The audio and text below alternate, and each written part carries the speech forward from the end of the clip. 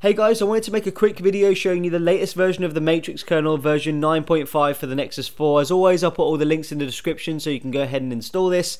If you've never tried the Matrix kernel on the Nexus 4, I heavily suggest you give it a go. It gives you a great balance between battery life and performance, and it's just going to get better, so definitely give it a shot. The first thing I want to show you is my settings in Trickster. So I'm going to open up Trickster right here. By the way, this kernel does come with a default undervolt, so there's no need to undervolt this. It already comes undervolted, which is pretty awesome.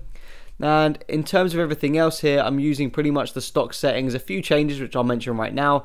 The minimum is 192 megahertz, which you'll probably notice is a lot lower than the stock Google kernel, which is 384. So you get a lot better battery life with this kernel because of that low frequency. That's so that's pretty awesome.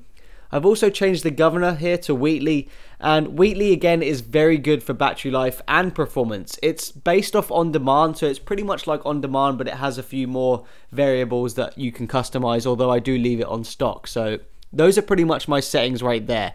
Now, everyone always asks me about performance and battery life, and let me show you my battery life I got yesterday. I was so impressed with this, I just had to make a video on it. So let's check out, where are we? Screenshots and we'll start off with this one. So here we go, we'll zoom in right here and I use this completely normally, you know, I didn't do anything different. I used my phone exactly how I normally use my phone. I had loads of Gmails, loads of WhatsApps, YouTube videos, all that sort of stuff, Facebook, Twitter, all that stuff was all syncing all the time. I didn't change my usage. Now, at the end of the day, I had 5% left and I was running for 14 hours, 36 minutes, and 36 seconds. You can see right here, Tapatalk, Chrome, all that stuff is all there. If I get out of this screenshot, go to the next one, you can see the graph. Now, granted, I was on Wi-Fi the whole time, but that was just my usage for the day. Sometimes I am on 3G.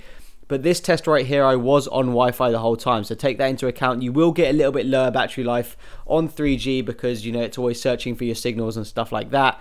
But um, yeah. Now, the big thing is the screen on time. And this is what is super impressive with this kernel. Check that out. 5 hours and 23 minutes with 5% remaining, was it? Something like that.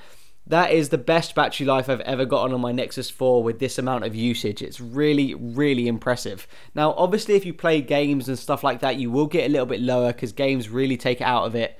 But nonetheless, 5 hours, 23 minutes, that is absolutely fantastic for normal usage. So brilliant, brilliant battery life on the Matrix kernel version 9.5. Moving on to performance, this kernel is a beast in that department as well. The UI is very smooth, apps are very quick to open. You can see I've run a Geekbench right here and it scored 2,381, which is a very, very high score. If I compare it to what the Nexus 4 normally gets on stock kernel, it scores 2,032. It absolutely beasts the uh, stock kernel, so very impressive from Matrix.